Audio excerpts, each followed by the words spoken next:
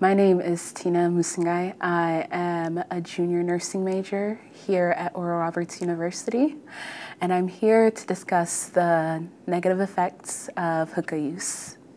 Hookah is a water pipe that's used primarily for smoking tobacco, but people also use it to smoke marijuana. And it is uh, a, an apparatus that has a mouthpiece connected to this water container and people often put flavored tobacco in it and as they heat it up using charcoal or some form of heat source, it creates smoke and that's how they inhale it and that's how they smoke it. It's uh, all over YouTube. You can see college students as well as some high school students because you, you have to be 18, year old, 18 years old in order for you to get access to it.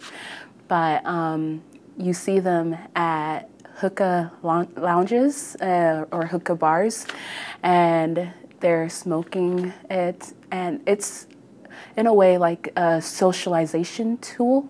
A lot of people they use it to socialize. You know, they take it and they pass it from one person to another person to another person, and for them, that's how they are interacting with one another.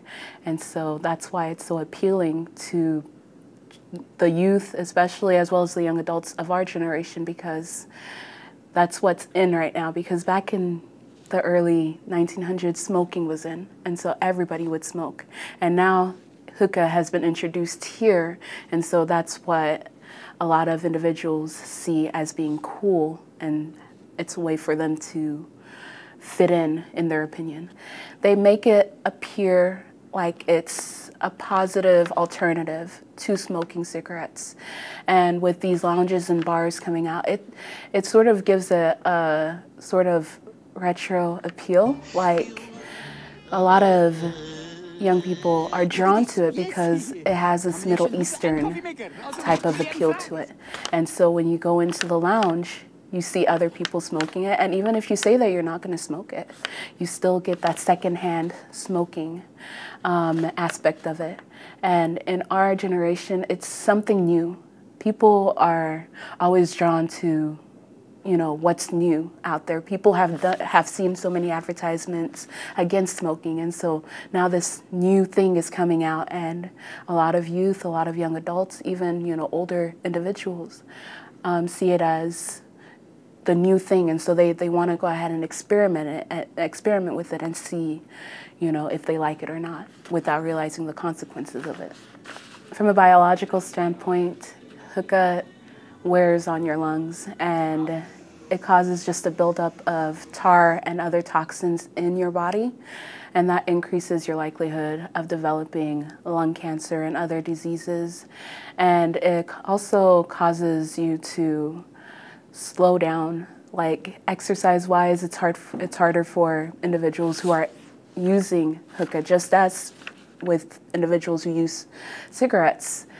Their lung capacity isn't as at isn't operating at its optimal level, and so it wears on your body. It causes your lung not to function properly, and hookah or any type of like carcinogen uh, while others, you know, the first time that might be it for them, you know, they take it and their body reacts to it in such a negative manner that they could end up being hospitalized or even worse, be dead, depending on like how close the access to the emergency room is.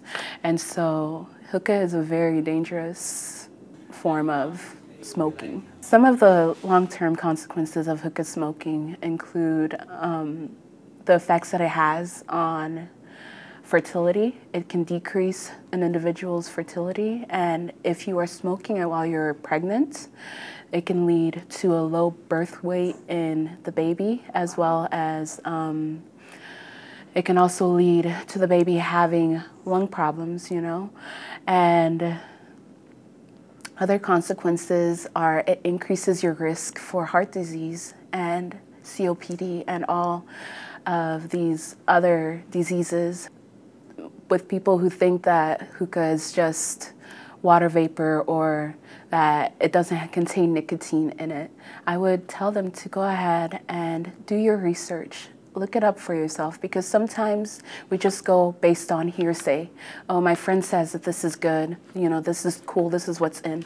But go ahead, look it up for yourself. Look up the pros and cons of it. And then once you've done your research, then decide whether or not you're going to go through it with it. But with that, just realize that hookah has negative consequences on your body, and you only have one body, and it's your duty to take care of it.